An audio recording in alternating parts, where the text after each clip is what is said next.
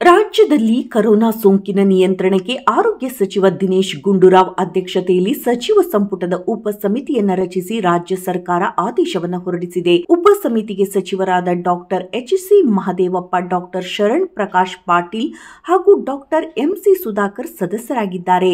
ರಾಜ್ಯದಲ್ಲಿ ಕರೋನಾ ಸೋಂಕಿನ ಪ್ರಕರಣಗಳು ಹೆಚ್ಚಳವಾಗುತ್ತಿರುವ ಹಿನ್ನೆಲೆಯಲ್ಲಿ ತೀವ್ರ ನಿಗಾ ವಹಿಸಿ ಸಕಾಲಿಕ ನಿರ್ಣಯವನ್ನು ತೆಗೆದುಕೊಳ್ಳಲು ಸರ್ಕಾರ ಈ ಕ್ರಮವನ್ನು ವಹಿಸಿದೆ.